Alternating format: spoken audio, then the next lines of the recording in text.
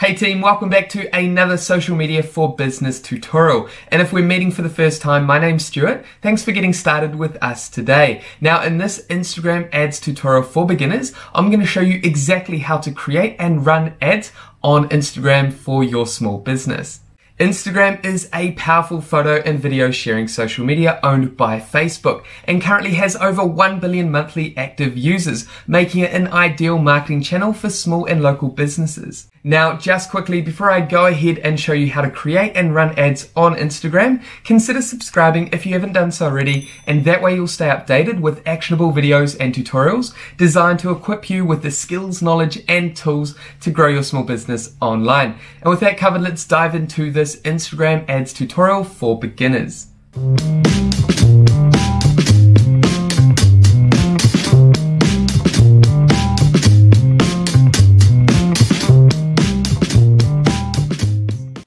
Okay guys, so first things first, what we need to do before we go ahead and create and run our Instagram ads is we need to do two things. We need to create a business manager by heading over to business.facebook.com and creating a free business manager account. Then following this, what we need to do is create an ads account. Now this is again free to do so and it's very straightforward to both create a business manager and an ads account. So what you need to do is head up here to create account and simply navigate through the process of creating a business manager and ads account. It's very straightforward and what we will do is meet you at your ads account. Now the reason you want to create a business manager is if you decide to create multiple accounts you can keep them within your business manager and if one ads account is deactivated it does not affect your business manager and you have other ads that you can manage through your business manager. Also, if you're working with potential clients or other Facebook pages and other ad accounts, you can connect them to your business manager. So we always recommend people create a business manager and then an ads account. However, you can go ahead and just create an ads account if you like, but we recommend creating a business manager. So what we'll do is leave you to do that, take the time, and we will meet you at your ads manager. Okay, so as you can see, we are within Facebook and we've already set up our business manager and gone ahead and added an ads account for the purpose of this tutorial.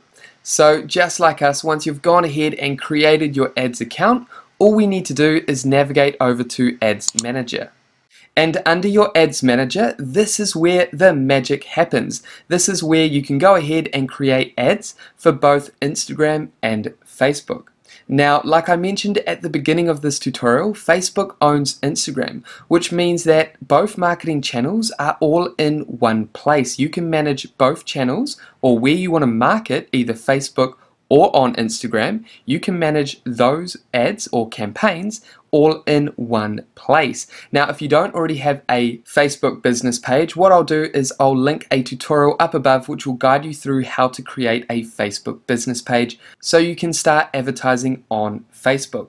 Now, assuming you already have a Instagram account, and if you don't, what I'll do is show you how to create a Instagram business account up above. Again, this is a tutorial which will take you through how to create a business Instagram account.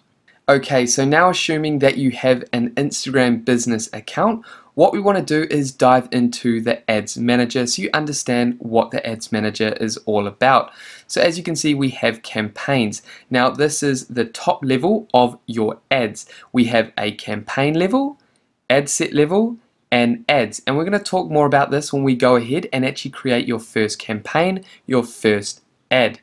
And then down here, when you've created an ad or multiple ads, this is where you can see all the information surrounding your ad. So you can measure results, you can optimize your ads, you can increase your budget, you can do a lot of stuff down here in regards to optimizing your ads, changing your ads, pausing or starting your ads, and essentially measuring the results of your ads because you want to make sure that your ads are performing well and you can monitor and optimize them down here.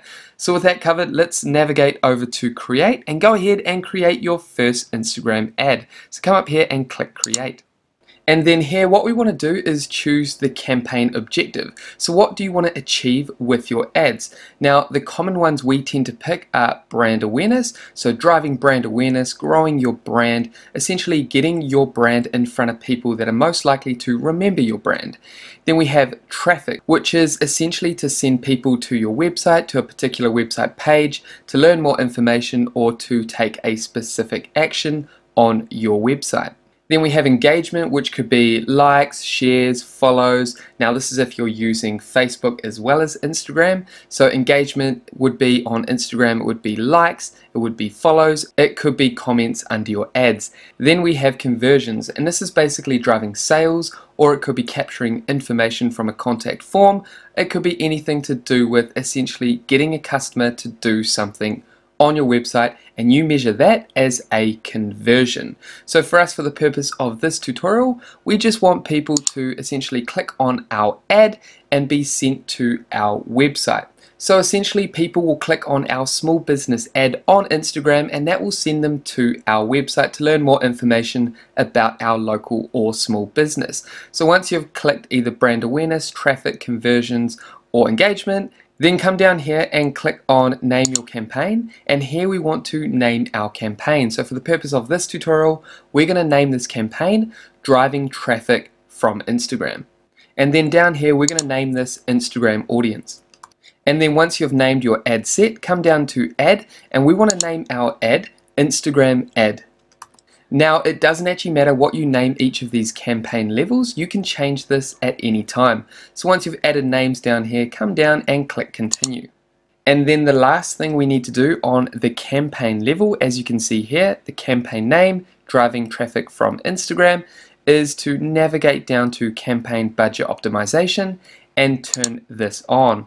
And basically what that's going to allow you to do is set a daily budget. So for us, we're going to allow that as a daily budget. You can also select lifetime budget, but we're going to select daily budget and then click $5. Now you can change that if you like. I recommend getting started with 5 to $10 and then you can slowly increase your ad spend when you believe that your ad is performing well and you can see that on your analytics. So start off at $5 a day, daily budget and basically what campaign budget optimization does when it's turned on is it evenly spreads your budget so your daily budget for us it's $5 a day USD and this is spread evenly across all your different ad sets. Now we're going to move on to ad sets now and basically this is creating different audience types. So if you want to target different audiences you can do that at the ad set level and we're going to jump into that now. So once you've turned your campaign budget optimization on and you've set your daily budget then come down and click next. And then here, just like I pointed out before, we have arrived on our ad set level. And we named our ad set Instagram audience from the campaign level. Remember, we named all these different levels. So the campaign name, ad set name, and ad name. We've already named each of these different levels. So now we're on to the ad set level, which we've named Instagram audience. Then if we navigate down to traffic, you can see that we've selected website traffic. Remember, we pick this on the campaign level. Basically, we want to send traffic from Instagram to our website. Then if we navigate down to dynamic creative, basically this allows you to essentially upload different headlines, different content, different media, and what Facebook does is it dynamically places your ads based on which audience is going to perform the best. So if you have multiple images that you want to run, what this does is allows you to, rather than creating multiple ads, rather than creating, let's say, five ads, you upload five images to one ad, and then Facebook is going to find the best one that works with your audience and deliver that one more. So dynamic creative is ideal to turn on click continue and again this is going to allow you to save time down the track rather than creating dozens of individual ads. Then come down to budget and schedule. Now remember we selected a daily budget so here what you want to do is make sure you have a start date and an end date. How many days do you want to advertise for? Remember our budget was $5 a day so how many days do you want to advertise for? Start date I'm going to make that today and then yep I'm happy with that start time. You can change that here if you like. Then come down to end time. And the day is going to be one week from today which is Tuesday the 3rd so my ad is going to run for seven days. Then you can come down here and I'm just going to select six o'clock. So it's exactly seven days. I'm actually going to change this to zero zero. I'm happy with that. So 6 till 6 so one week difference. My ad is going to run for one week then you can come down here and select your audience. Now this is one of the most important parts to actually creating an ad and this is where you want to identify your audience. So here what you'll do is come over to locations and select your location. So for us we're targeting New Zealand because we're a small or local business. What we want to do is actually exit out of New Zealand. We actually want to type in a local area in New Zealand called Tauranga and I'm happy with that so Tauranga Bay of Plenty region and then you can come over here and change your area radius if you like I'm happy with 40 kilometers and I just want to target Tauranga Bay of Plenty this particular region, this particular city. So make sure you select the right area that you want to target for your small or local business Instagram ad. Then come down here and select the age. I'm happy with 18 to 65. Then gender, you can select male or female. I'm happy with all genders. Then down on detailed targeting, this is where you want to select particular interests. So select edit and let's say this ad is about cars. So for the purpose of this tutorial, the business we're going to use today is a car dealer. So we want to sell cars and we're going to create a car based ad on Instagram. So what are some of the kind of demographics, interests or behaviors my audience would have? So think about that, take the time. What I would do is come down here and type in car and then I can come down here and select electric car, so people that are interested in electric cars. I can type in car again and come down to sports cars. I want to target those that are interested in sports cars. And then let's say that I sell Ford cars as well. So I'm going to type in Ford the brand.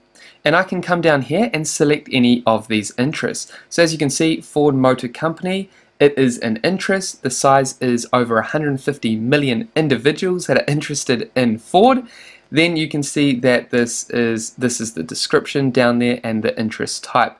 So each time you select an interest, a demographic, or a behavior, you're going to see the information on the right hand side. So I'm going to select Ford Motor Company and then what I want to do is add one more and I'm going to add a demographic. So with my particular audience, I tend to sell cars to families, so those that have kids, so larger cars. So I'm going to type in parents. And as you can see, all these options appear. So parents with adult children, parents with teenagers, parents with preteens, and there's many options down here. And as you can see, rather than it being an interest, it is now a demographic.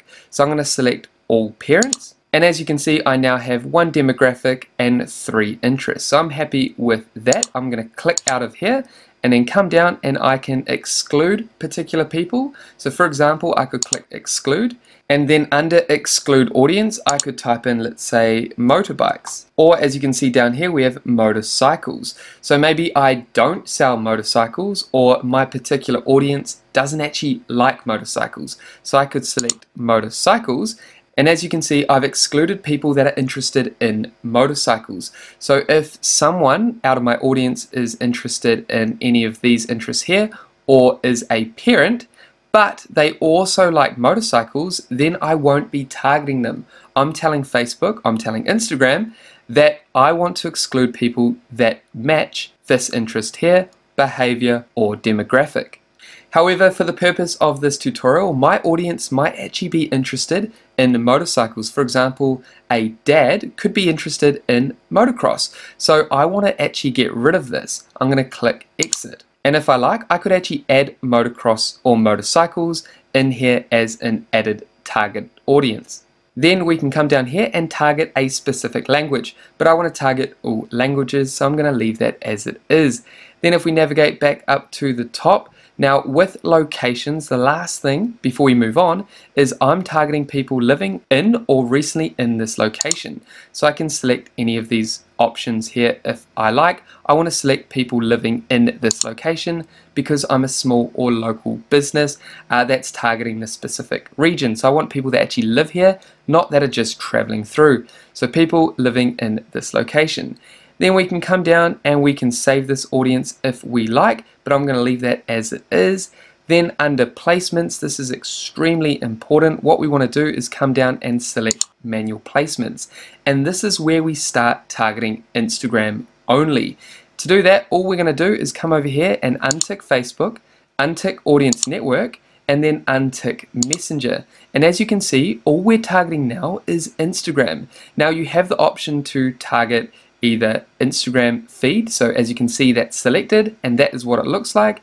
Then we have Instagram Explore, which will look like this. And then we also have Instagram Stories, which will look like this. So I'm actually pretty happy with that. I could target all three uh, different areas of Instagram, but for the purpose of this tutorial, I'm actually going to get rid of Instagram Stories and Instagram Explore and just focus on Instagram feed. That's because when I go and actually create the ad, my ad is going to be a particular size. So if I select, let's say, Instagram stories, you can tell that this is a large scale image or video, whereas Instagram feed is quite small. So I only want to target this channel here on Instagram because it's a square image which I'm going to create or a square video.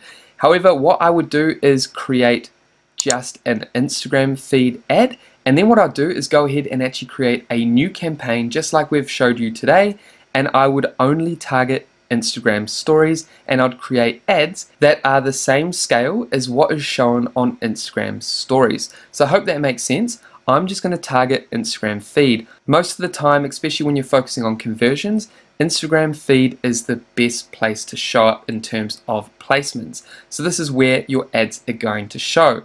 So I've got Instagram feed selected. That is the only place that my ads are going to show. I'm happy with that. Then I'm going to navigate down here and I'm happy with link clicks. So optimize for ad delivery, link clicks, because remember I selected traffic then up here you can see a little snippet of information about how defined your audience is. You want to be relatively defined and targeted with your audience, so you want to make sure that it says your audience is defined. As we're a local and small business, we're targeting a specific location, so our audience is naturally going to be quite defined. And then we have our potential reach down here. So I'm happy with that. Come down and click next, and that's going to take us onto Instagram ad. And here we are under Instagram ads. So this is the ad level. So we've already completed the campaign level, ad set level, and now we're on the ad level, which is called Instagram ad. Remember we named this before, you can change that name here. Then under identity, you want to make sure that you have your business page selected and more importantly, your Instagram account because remember, we're not actually targeting anyone on Facebook. We're only targeting people on Instagram. So make sure you have your Instagram selected here. If it's not connected, if you cannot see your Instagram account here, then what you need to do is actually connect your Instagram business account with your Facebook business page. And then you'll be able to select your Instagram account here. Now you'll notice that we're using this business here and not a car dealership like we described we're going to be using in terms of creating an ad for a car dealership. We're actually just selecting this business page because it's a business that we made a while ago for the purpose of tutorials. So it's not actually a real business. But what we're actually going to do is create an ad for a car dealership. So don't take too much notice of the pages that we've selected here then navigate down to Ad Setup. Now under Ad Setup you'll notice that Dynamic Creative is enabled. Remember within the ad set level we turned Dynamic Creative on which means Facebook will allow us to add multiple text descriptions and media to our ads and Facebook will go ahead and choose the best one that works in combination to deliver to our audience. Then you have the option to select a single image or video or carousel. For us, we're going to select a single image or video and for the purpose of this tutorial, because video is more engaging than text or image, we're going to create a video ad. Then what you want to do is come down here to add creative and here is where you want to select images or videos. You can also create a slideshow or create a video from photos. So for us, we're going to go ahead and select a video. Now before we do that, what we're going to use is a software called InVideo. And InVideo actually allows you to seamlessly and easily create videos within minutes for social media for advertising. So if we head over to invideo.io, this is a simple video editing software that you can use to quickly go ahead and create videos within minutes. Now remember we're focusing on Instagram so if say for example we were targeting the Instagram story we could click Instagram story and then down here there's a bunch of templates that you can choose from and you can customize the way that you like and then you have access to hundreds and thousands of media in terms of stock images and videos that you can quickly smash together and add text and essentially create your own video ad. For example, we have this car ad here, mega sale on cars, and I can click this and that's going to show me the entire video here. I can choose wide or square but because this is for a Instagram story it's going to show up like this. And I can choose this and use the template and start customizing it the way that I like. But what I want to do because remember we selected Instagram feed so we want to go ahead and select Instagram post so a square like video. So if I come down here and again we have that same video on cars here so I'm going to select this one because remember we're creating a video ad or an ad for a car dealership. So I like the look of this one. Then all you need to do is click use template. Now we're actually not going to go ahead and create a video and show you how to do it in this tutorial but what I'll do is I'll put a link up above which will take you through a beginner's tutorial which shows you how to use invideo.io from start to finish within essentially about 10 minutes so you can go ahead create a video within 10 minutes and use it for social media for your Instagram ad or Facebook ad if you're targeting Facebook as well. So we'll put that link up above and you can click on that and use InVideo to create your own video ads. Now we've also got the link in the description below. Remember this is a affiliate link which means if you decide to purchase through this link and you decide to use InVideo then we will get paid a small commission and that essentially helps us create content for this channel so thank you in advance. So what I'm going to do for the purpose of this tutorial is quickly download this video and head back to our ad creation dashboard. And now I want to upload the video I just downloaded from InVideo. So I'm going to navigate over to select videos and then navigate up to upload and then upload this video that I just downloaded. And then as you can see I've uploaded the video. I'm going to come down here and click continue. And what I can do is actually upload more if I like. So I'm going to come up here and click preview on because I want to see what this video will look like with the ad. And then come down here and add a primary text and headline. So I'm going to go ahead and add one primary text and one headline. And then add a URL. So where I want people to be sent to when they click on this ad. Now I want them to be sent to my website. So I'm going to add that down there. And as you can see, we've quickly gone ahead and added primary text headline, and our website URL. So our primary text is down here below the ad. As you can see, this is the video ad that we uploaded. Over here is learn more. If someone clicks on this, it's going to take them to this website URL down here.